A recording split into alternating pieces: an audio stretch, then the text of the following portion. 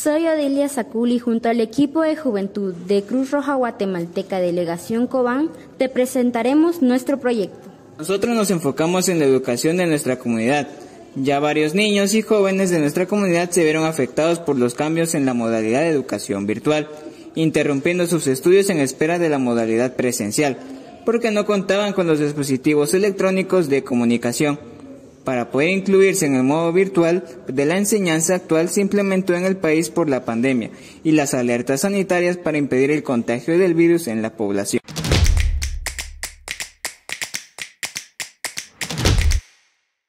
Se buscó a niños de entre 10 y 11 años del nivel primario, que no pudieron continuar sus estudios, apoyando así a que su aprendizaje no se vea afectado.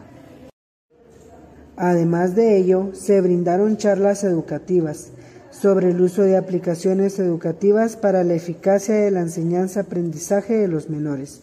ya que en tiempos anteriores a la pandemia no se brindó un contexto educativo digital. De este modo se donaron tablets a niños que lo necesitarán. Esto con ayuda de padres de familia que apoyaron a los menores y ayudaron a impulsar este proyecto e igualmente a la ayuda económica del programa Limitless de la Academia Solferino, de la Federación Internacional de las Sociedades de la Cruz Roja y de la Media Luna Roja.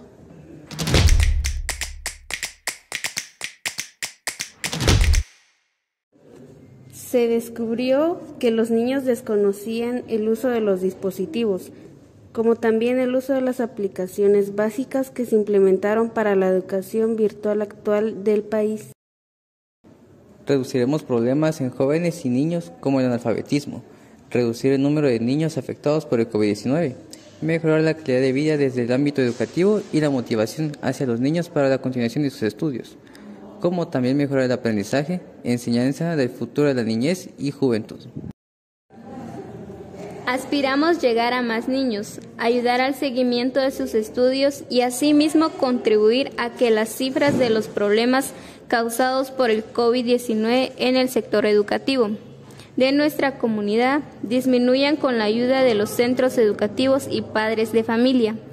Brindaremos charlas sobre el uso de aplicaciones educativas a centros educativos, no solo para los niños beneficiados, sino para todos los estudiantes.